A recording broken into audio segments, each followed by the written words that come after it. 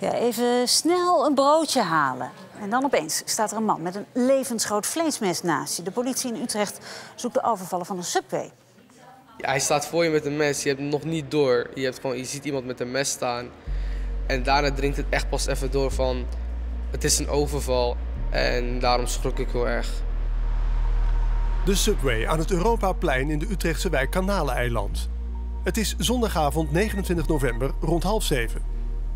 Ik was die avond aan het werk. Gewoon zoals normaal de andere avonden. Toen we aan het schoonmaken waren, kwamen er twee klanten binnen. Die helpen we ook gewoon natuurlijk zoals altijd. De twee klanten wachten op hun bestelling. Als er plotseling een man met een groot mes de zaak binnenkomt lopen. De overvaller jaagt de twee klanten de hoek van de winkel in en richt zich vervolgens op de kassa-medewerker. Toen stond hij met een mes voor mij en hij vroeg om het geld. Ik zei ook dat hij rustig aan kon doen, dat ik, dat ik hem het geld zou geven.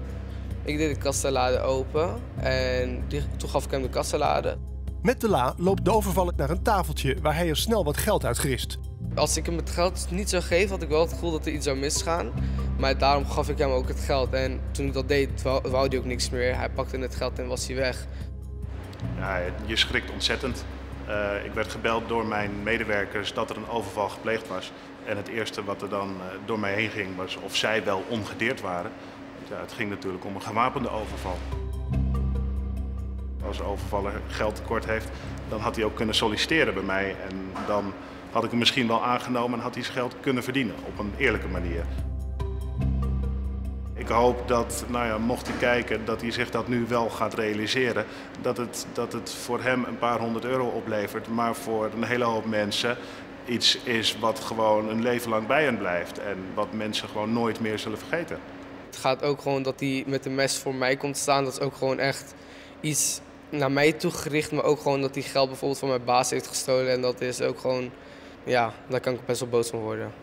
Ja, 17 jaar pas was deze jongen. Niemand gewond geraakt. Gelukkig dus, maar het heeft allemaal grote impact.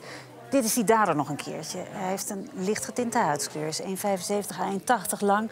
Hij droeg een jas van het merk Parajumper met een capuchon. Had die capuchon over zijn bivakmuts getrokken, even voor het idee.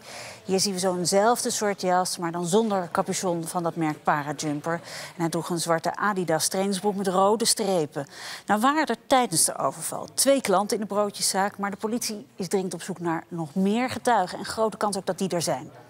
De Subway zit in het opvallende Utrechtse Max-gebouw. Met erin ook studentenflats en één kamerappartementen. En het zit naast sportschool Basic Fit.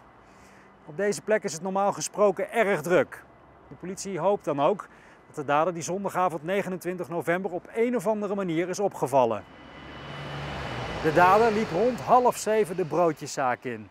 Maar mogelijk dat hij de Subway aan het Europaplein in de uren voor de overval vanaf deze parkeerplaats er tegenover heeft geobserveerd.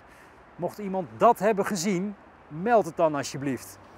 Help mij om die overvaller van de Subway in Utrecht te vinden. Herkent u de dader of heeft u op een andere manier meer informatie? Bel dan of tip via live.politie.nl.